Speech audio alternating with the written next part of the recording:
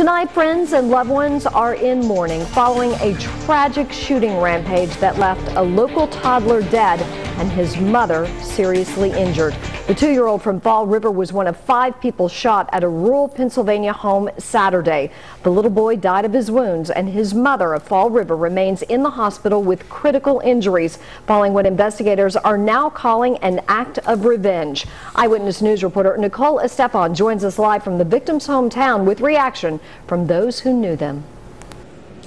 Well, this shooting may have happened in Pennsylvania, but it's here in Fall River on Peckham Street where two of the victims lived, including that two-year-old boy, where neighbors say they're still in shock.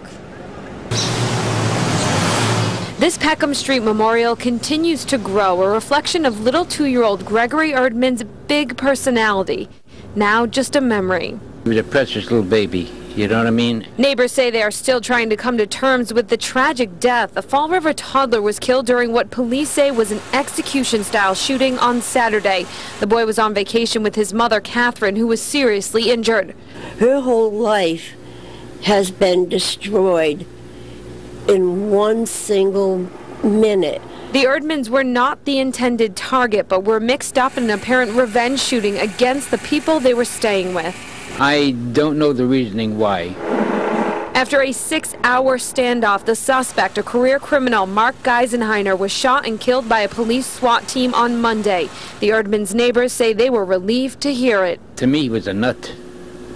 He was totally a nut. Why this man did this, all right, you know, of course. I'm elated when they found out that he got, he got killed.